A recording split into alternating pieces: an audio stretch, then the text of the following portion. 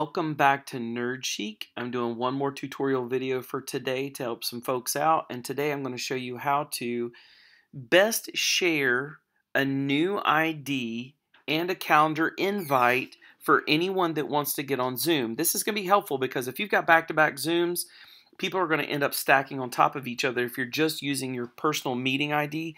This is going to be more helpful. So each one's a separate meeting ID and you can invite them to it and send that to them. So the first thing is, is open your Zoom and then go to schedule.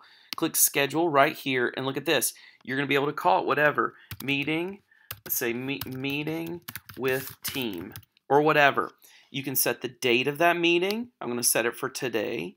You're going to do, I'm going to do, let's say 2.30 p.m. and it's going to go until 3 p.m. You see what we're doing here? Meeting ID generate automatically. That's the crucial piece. If you put all of them to your personal meeting ID, guys, you will have, if you've got back to back meetings, you'll have people pop in that meeting that shouldn't be there. So that's what you want to do. So now, if you've only got one meeting and you want to use your PMID, do it. But if you've got back to back meetings, do generate automatically. Okay? So this one I'm saying uh, I got back to back meetings. I don't want people to end up on top each other. My host video is on. I'm going to make sure their video is on.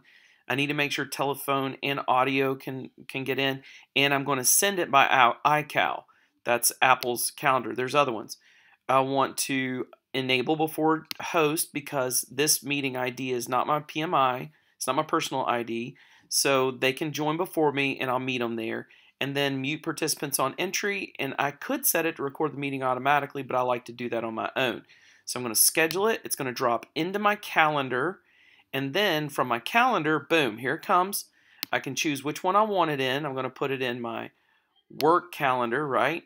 And then I can click OK, boom, it's there. And guess what? Now I have this calendar meeting with all of the info here, including the meeting space. You can see that there.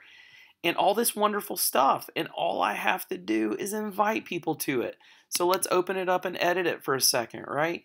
I'm going to invite some attendees. And let's see, add invitee. I can invite my friends, right? You just put their name in. So this is going to be, and again, this isn't a real email, but if you're doing it, you click enter and then you add that email and boom, it's sending them an email right now to invite them to this meeting and they've just gotten it in their calendar. Isn't that wonderful? It is that easy, guys. They get all this information. When it's time to meet, they get there. And they're not overlapping other meetings. But that is the best way to do this. So hopefully this has helped you today on making your calendar invites, whether you use your PMI, your personal meeting identifier, or the number that it makes automatically, and invite folks to meetings. So you corp folks, that's helpful, I hope. If you're doing business with this, it's helpful um, you know, maybe even teachers or whatever, if you're getting your students on, it can be helpful to send it out to their parents or whatever. Now, here's the deal. Don't forget to subscribe to Nerd Chic. Don't forget to tell your friends about what we're doing. Don't forget get to give this a thumbs up because that's how we keep going. And then if you've got any more questions or any more tutorials we can do for you, be sure to put them in the comments and we'll get to them as soon as we can. You guys be blessed. Enjoy.